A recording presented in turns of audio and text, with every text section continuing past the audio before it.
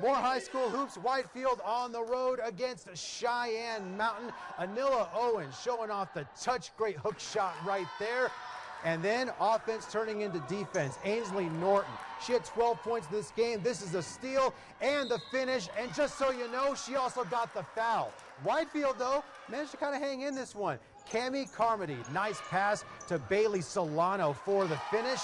And then later, Kasaya Kraus, no one to inbound it to, so she throws it off the defender's back, keeps it herself, and puts it in. That's good improv right there. You gotta do what you gotta do. But too much from Cheyenne. Carolyn Cran, she caught fire late in the first half. That's a three there. Red-tailed Hawks go on to win this one by a score of 57 to 35.